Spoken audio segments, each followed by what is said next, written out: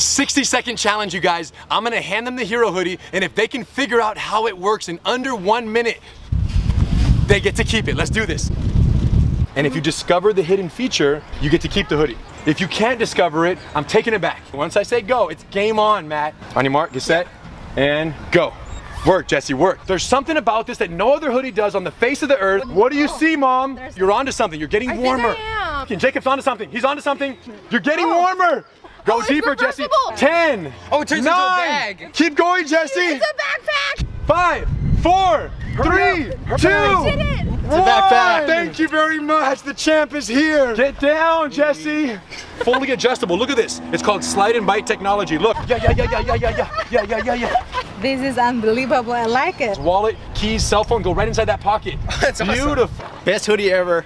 It's the best hoodie I've ever seen. It's comfortable, it's it's it's a good fit, and it turns into a backpack, which is awesome.